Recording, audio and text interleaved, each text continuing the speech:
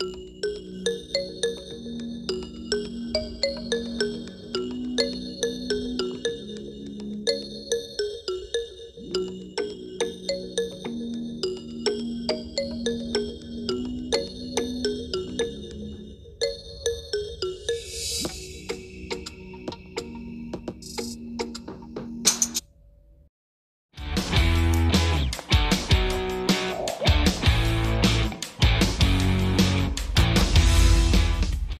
Assalamualaikum teman-teman, pada kesempatan kali ini kita akan membahas Stadion Gelora Bung Tomo.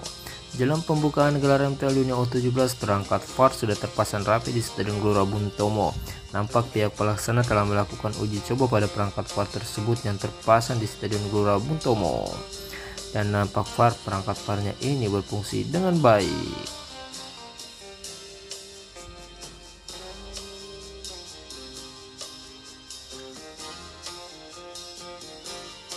Selain itu, ada juga pemain timnas Maroko yang melakukan set venue di Stadion GBT.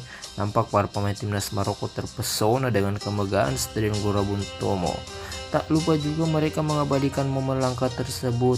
Selain timnas Maroko, ada juga timnas Ekuador dan sehari sebelumnya melakukan set fisik di Stadion Gelora Bung Tomo.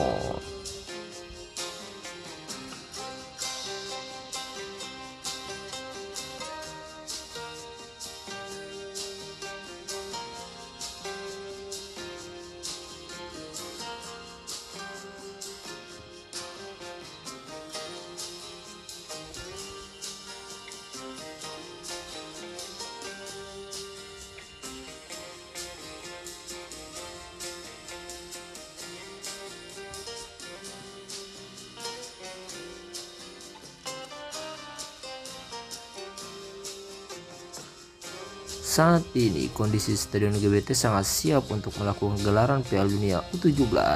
Nantinya juga Stadion GBT bakal menggelar acara pembukaan Piala Dunia U17 yang akan berlangsung pada tanggal 10 November mendatang.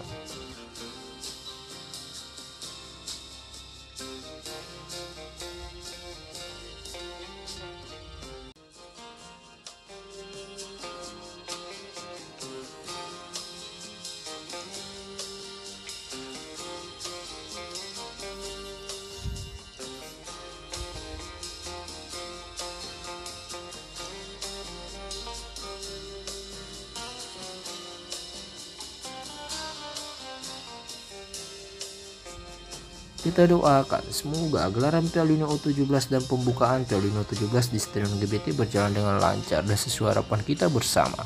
Cukup sekian kali ini pembahasan kami. Jangan lupa like, subscribe, komen, serta share video kami. Terima kasih dan sampai jumpa lagi.